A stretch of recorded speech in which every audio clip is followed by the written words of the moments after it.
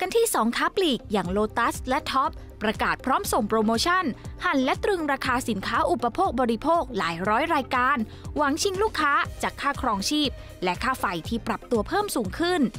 Lotus ประกาศขยายเวลาแคมเปญราคามหาชน นานอีก 8 สัปดาห์ ลดและตรึงราคาสินค้ารวมกว่า 600 รายการ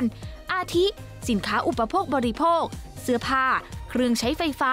ที่โลตัสทุกสาขาทั่วประเทศ และแพลตฟอร์มออนไลน์ Lotus Smart App และยังจัดโปรโมชั่นอื่น ๆ เสริมทับเข้าไปอีก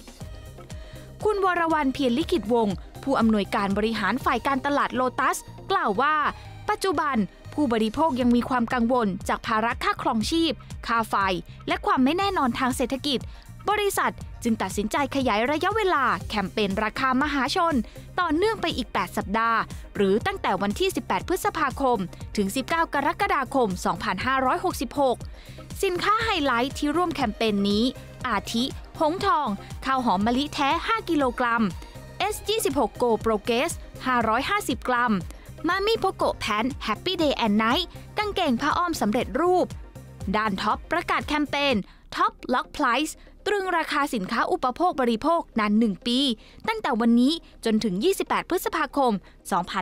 2567 ครอบคลุมทั้งท็อปและ Family Mart ทุกสาขาทั่วประเทศ คุณสเตฟานคูม ประธานเจ้าหน้าที่บริหารกลุ่มฟู้ดเซ็นทรัลรีเทลกล่าวว่า ผู้บริโภคยังคงได้รับผลกระทบอย่างหนักจากค่าไฟและค่าครองชีพที่สูงขึ้น จึงจัดแคมเปญตรึงราคาเพื่อตอบโจทย์ของผู้บริโภค อาทิ อาหารแห้ง เครื่องปรุง ข้าวสาร กลุ่มสินค้าทำความสะอาด และของใช้ในบ้าน กลุ่มสินค้าแม่และเด็ก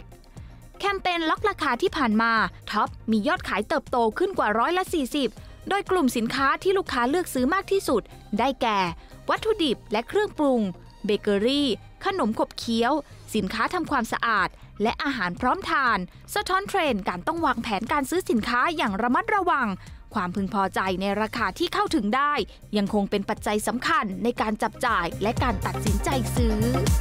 ขอบคุณที่ติดตามรับชมรายการการตลาดเงินล้านค่ะ อย่าลืมกด subscribe กดกระดิ่ง กดไลค์และกดแชร์ทุกช่องทางออนไลน์ของ TNN ช่อง 16 นะคะ เพื่อที่จะไม่พลาดทุกรายการสดของเรา และรับชมคลิปวิดีโออื่นที่น่าสนใจอีกมากมายเลยค่ะ